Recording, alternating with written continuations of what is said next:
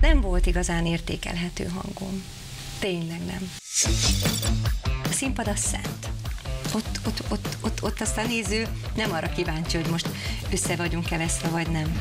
Azok a kollégák, akik végigcsináltak akár gyomorgyűrűvel, vagy így úgy drasztikus fogyásokat, a hangjuk ugyanannyit vesztett az erejéből. Tehát, hogyha elindul egy fogyás, akkor, akkor hangi fogyás is jön.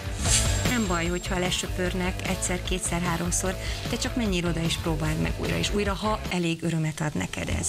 Húzós. Nem mondom azt, hogy soha.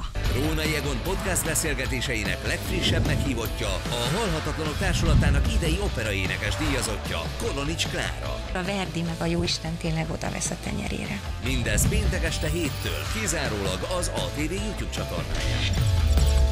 Hogy kell viselkedni egy operaének? Nem tudom, még nem sikerült. Ja, értem.